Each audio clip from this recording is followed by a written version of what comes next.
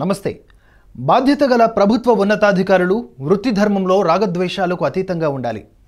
తాను కేవలం ఒకే వర్గానికి చెందిన అధికారిని అనే భావన కూడా అతనిలో ఏమాత్రం ఉండరాదు. అయితే కర్ణాటక రాష్ట్రంలో ఓ ఐఏఎస్ అధికారి ఏకంగా తబ్లిగ్ జమాత్ సభ్యులను హీరోలు అంటూ కీర్తించడం ఇప్పుడు అంతటా కూడా చర్చనీయాంశంగా మారింది.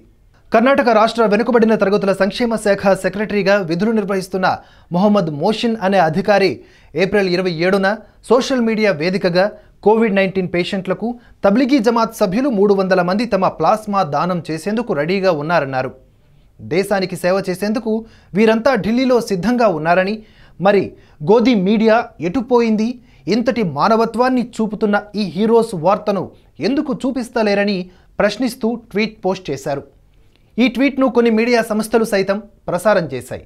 దీంతో కోవిడ్ నైన్టీన్ వ్యాప్తి ఒకవైపు పెరుగుతున్న సమయంలో రెండు వర్గాల మధ్య సున్నితమైన వాతావరణం నెలకొందని అలాంటి సమయంలో ఓ ఐఏఎస్ అధికారి ఇటువంటి కామెంట్స్ చేయడం కర్ణాటక వ్యాప్తంగానే కాకుండా జాతీయ స్థాయిలోనూ చర్చకు దారితీసింది.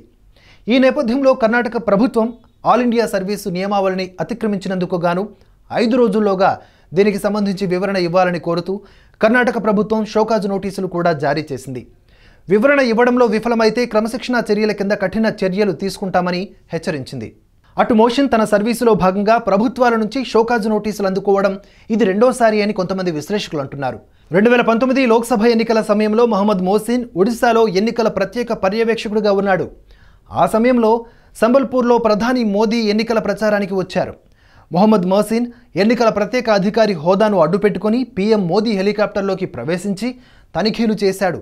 అయితే ఎస్పీజీ రక్షణలో ప్రధాని హెలికాప్టర్ను చెక్ చేయడం నిబంధనలకు విరుద్ధమని ఎస్పీజీ ఫిర్యాదు చేయడంతో అతనిపై ఎన్నికల సంఘం వేటు వేసింది. ఈ ఘటన కాంగ్రెస్ బీజేపీల మధ్య మాటల యుద్ధానికి దారితీసింది. ఎన్నికల్లో ప్రచారాస్త్రంగా కూడా మారింది. అలాగే లాక్డౌన్ సడలింపుల్లో ఈ కామర్స్ సంస్థలకు అనుమతి ఇవ్వడంపై కూడా మోసిన్ కేంద్ర ప్రభుత్వంపై విమర్శలు గుప్పించాడు. మొహమ్మద్ మోసిన్ ముందు నుంచి కూడా ప్రో కాంగ్రెస్గా ఉన్న ఐఏఎస్ అధికారి అనే ప్రచారం ఉంది. అందుకే ప్రధాని మోదీ ప్రభుత్వంపై అవకాశం దొరికినప్పుడల్లా ట్విట్టర్ వేదికగా కామెంట్స్ చేస్తూ తన అసహనాన్ని బయటపెట్టుకుంటున్నాడని కొంతమంది జాతీయవాద జర్నలిస్టులు ఆరోపిస్తున్నారు. అదే సమయంలో తన ట్వీట్ ద్వారా తన హీరోలు ఎవరో కూడా చెప్పేశారని అంటున్నారు. అయితే ఈ ట్వీట్పై వివాదం ముదరడంతో ఆ తర్వాత మోసిన్ దానిని డిలీట్ కూడా చేశాడు.